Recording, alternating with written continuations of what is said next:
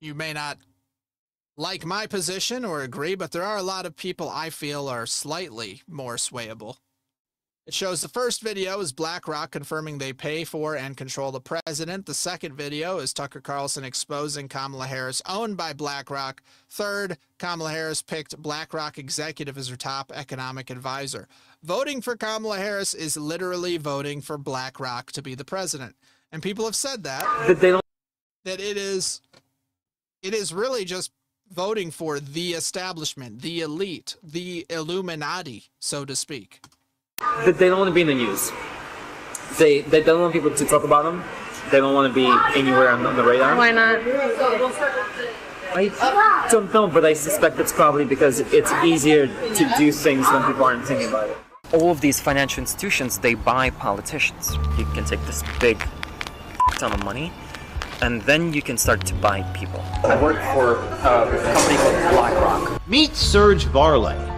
Okay, so we have a shit ton of money and then we buy people and politicians. Next, to lower the cost of everyday needs like health care and housing and groceries. We're going to end America's housing shortage. You just let in over 10 million people illegally and you put them all on housing vouchers and food stamps and gave them free plane tickets and free cell phones and all of them have to live somewhere. You caused America's housing shortage. If you care about the cost of housing, limit the population. Certainly don't expand it through uncontrolled immigration, through open borders, which is exactly what they did. She's responsible for it. And her donors at BlackRock are buying up the houses in your neighborhood. Yep. And her donors at Airbnb are turning your neighborhood into a completely unmanageable garbage, a place filled with transients where there's no social connection at all between people. Those are her donors. Those are her policies. For her to lecture us on the housing shortage that she caused, it's almost too much. I, I can't sit here.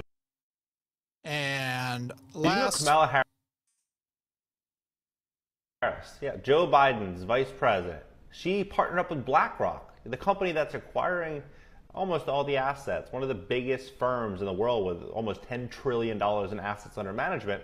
They're getting private information from the Biden administration. I bet you didn't know this.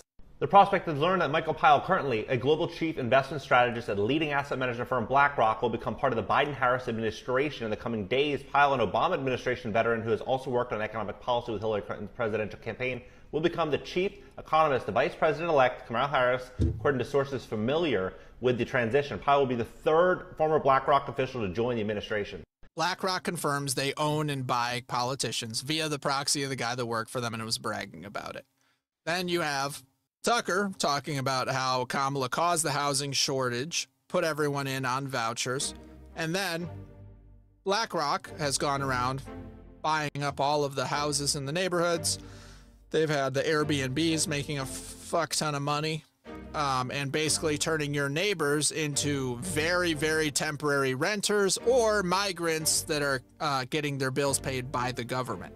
None of it's good. If you want to catch me live, I'm streaming Monday through Friday, 4 to 6 p.m. Eastern Time over on Rumble. So if you want to see me or you want to support me or you want to connect on social media, all links are in the link tree below. And all announcements will be made in the Freethinkers Rebellion Discord server, so make sure that you join up there.